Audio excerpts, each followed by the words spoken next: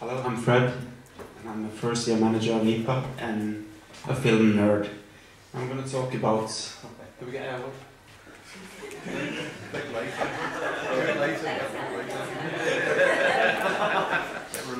This is not funny, he died last year, so it's a tribute. So, yeah. Um, that's the next slide there. Alright, I'm not, I'm not a good timer, but this is John Hughes. It's not John Hughes, is it? This is a tribute to John Hughes. He's a great director. He's, uh, he died last year, and I'm gonna, on this slide, it's gonna be a bunch of his movies coming up, and you want, you probably recognize. Um, the reason for uh, choosing John Hughes is I want to put on a stage production of The Breakfast Club at LIPA. And the reason for that is that is, uh, his work is like that man, his movies has meant a lot to me. As I, I would say he's the best director uh, in this genre. And yeah, this is going really fast, so yeah. Alright. And um, the reason is that. Just give me a second. Yeah, this is Ferris Bueller, right here. And you might recognize. He wrote both of the Home Alone movies, or the third one, but I don't want to talk about that, because it's a shit. But.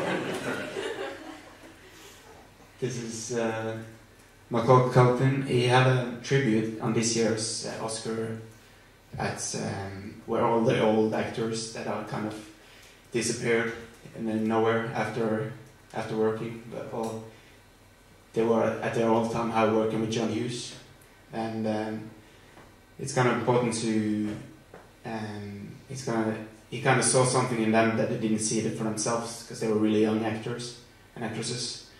And um, he kind of had um, he said that he's always had like um, a child in him that he wanted to like he always respected younger people. He doesn't he didn't see them as others than adults and um, and why I want to put on the production a LIPA is because of all these different characters.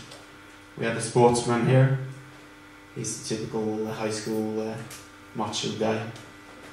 And uh, next up, I think we have the, the criminal, or the bad, yeah, the bad boy, and um, I think he still is actually, not not in movies, but in real life. Uh, but um, I think it's good to set it in a school because LIPA is, as you know, a university, and we have the princess or the the cute girl that that it's not like yeah, that's kind of you know um, try to, or uh, being a little tougher after they're in detention that they.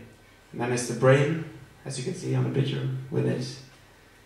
He's the math genius, but then all these characters come together and kind of create. Um, they kind of uh, come together. They were very, very different. And we had the weird girl there, um, and uh, it's kind of it's an amazing story because. Um, it kind of develops.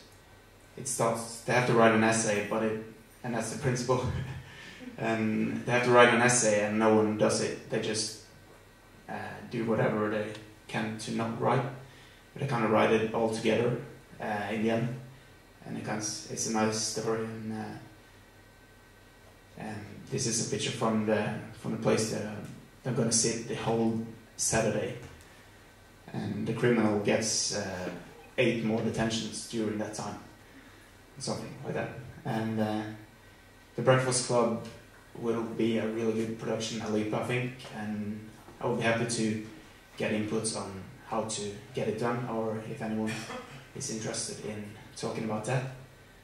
And and last up we have this is criminal again. I like that character. He's a, he's kind of he looks tough, but he's not. He's kind of soft on the inside.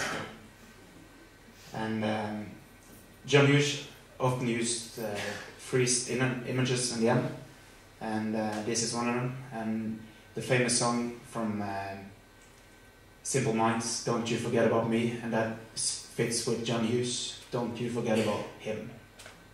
So thank you.